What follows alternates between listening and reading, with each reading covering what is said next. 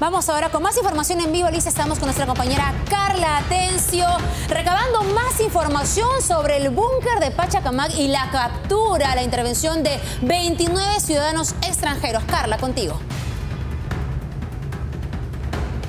Compañeras, ¿cómo están? Buenos días. Nosotros continuamos aquí en los exteriores de la Dirinque, en la Avenida España, y como les mencionábamos, eh, digamos, hace algunos minutos, pues comienza a llegar más información sobre quiénes son estas 29 personas, 28 de nacionalidad venezolana y una nacionalidad colombiana, pues tienen antecedentes, pero además de ello ya se ha podido corroborar que estarían vinculados a esta banda de la que ya se viene hablando, una especie de brazo armado del tren de Aragua, los hijos de Dios, y ellos habrían estado eh, reunidos aquí, una serie de cabecillas, sicarios, a quienes les dice, por supuesto, gatilleros o soldadillos, algunas palabras que ya la Policía Nacional nos ha ido pues explicando un poco sobre quiénes serían estos mandos medios que habrían estado reunidos en este inmueble Villamora, un lugar bastante, bastante lujoso justamente en la zona de Pachacamac, donde habían instalado justamente por estos días de paso, porque ya llevaban dos días alquilado justo este inmueble, pues el laboratorio clandestino donde fabricaban esta tusi, esta droga rosada. Quizá ustedes recuerdan hace algunos meses el secuestro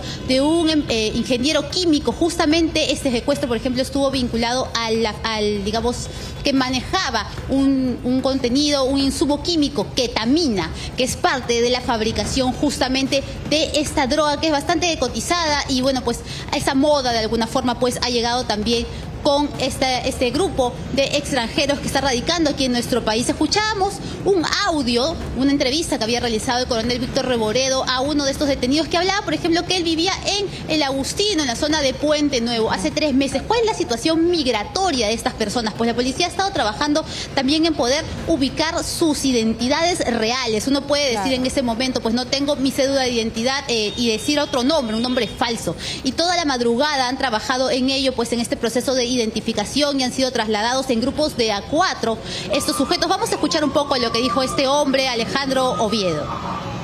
Alejandro Vargas Oviedo. ¿Natural de dónde eres? Venezuela. ¿De cuánto en Perú? Hace tres meses. ¿Tres meses? ¿Quién alquiló el local de la fiesta? ¿La cartera? ¿Ah?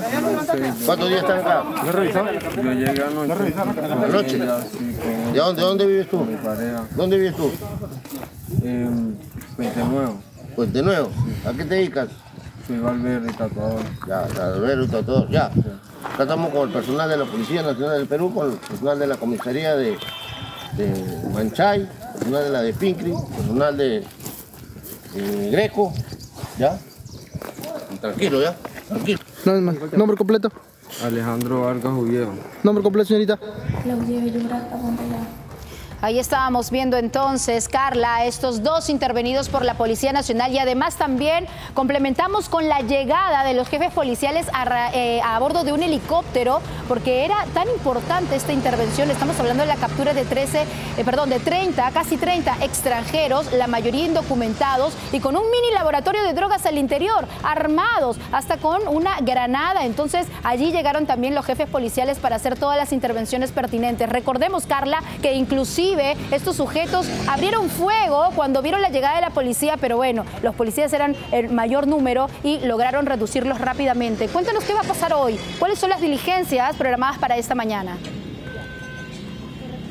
justamente la situación de este laboratorio clandestino pues agrava eh, la situación en la que se encuentran estas personas. Como les decíamos, hay algunos que ya han sido plenamente identificados y tienen antecedentes policiales. Por ejemplo, Yonder Anderson Molina Altuve, un sujeto que estuvo vinculado en un robo frustrado a una agencia bancaria ubicada en Antunes de Mayolo. Una situación que además le deja todos estos antecedentes, agrava la situación. Otro hombre del que habíamos hablado, que había sido el DJ, ¿no? que dijo finalmente que él solamente había sido invitado a, ponchar, a pinchar la música. ¿no? Ha tratado algunos en sus declaraciones pues de deslindarse de esta situación. ¿Qué es lo que va a pasar? Como les decíamos, en la madrugada han estado acudiendo pues por grupos al Instituto de Medicina Legal ubicado en la Avenida Raimondi, en La Victoria, y se espera que se continúen con otras diligencias, sobre todo que a través de esta situación irregular migratoria que tiene la gran mayoría de estas personas, pues se pueda pedir, digamos, eh, la- poder hacer una especie suerte de expulsión. Se está revisando cuáles serían las estrategias legales,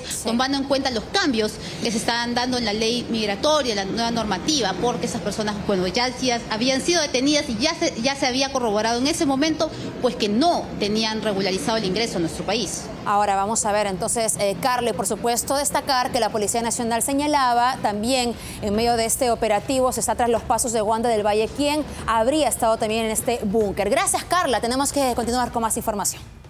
Hola, no olvides suscribirte al canal de Latina Noticias y compartir nuestro contenido. Tenemos mucho más para ti.